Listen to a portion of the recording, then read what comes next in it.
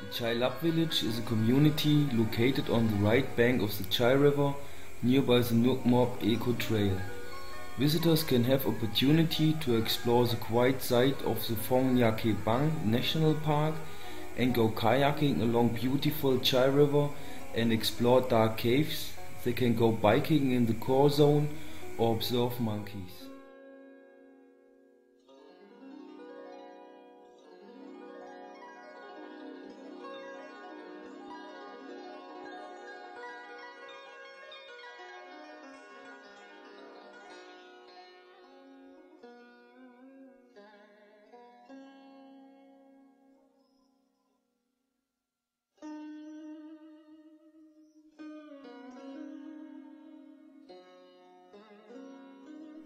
When you homestay in Chay Lap, you are tucked away in a peaceful farm next to the mountain.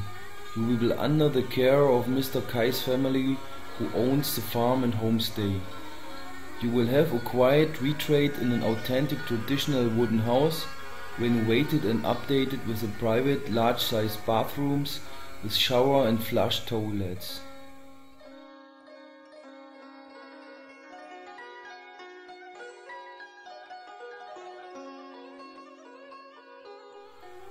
By staying with Rustic Lap, guests directly support conservation of an important World Natural Heritage Site while driving employment opportunities and income for the families of the Lap village.